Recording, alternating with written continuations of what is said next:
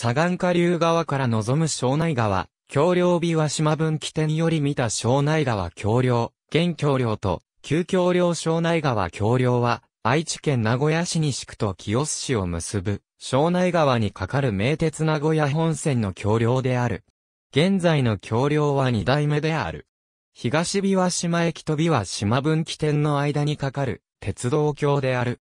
名古屋鉄道の前身である、名古屋電気鉄道の郊外路線の開業時に架けられた、橋梁である。初代の橋梁は、現在の橋梁より、下流にあり、経費削減もあり、橋脚を中州に直接設置した箇所もあった。また、橋梁中心付近はトラス、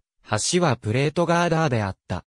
老朽化と、庄内川改修工事により、橋脚の中州を削り取る必要があったため、現在の橋梁に架け替えられたという。両岸の急カーブの影響もあり、速度制限がある。初代の橋梁時は、現在より急カーブであり、制限速度は時速 20km であった。現在の橋梁は、幾分カーブは緩和されたとはいえ、時速 50km 制限となっている。列車本数が多いことも影響をして、美は島分岐点とともに、現在も高速化のネックになっている。